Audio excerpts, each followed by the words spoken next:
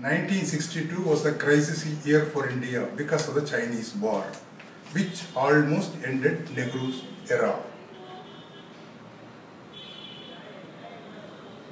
Nehru called Kamaraj to take over the Congress party, which Kamaraj did in 1963.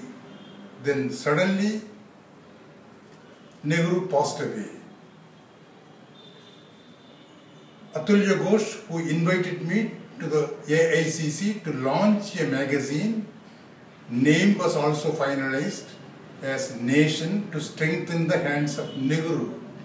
But after the passing away of Nehru, this was postponed. And very soon, Lal Bahadur Shastri was elected as Prime Minister, whose term also came to an end suddenly.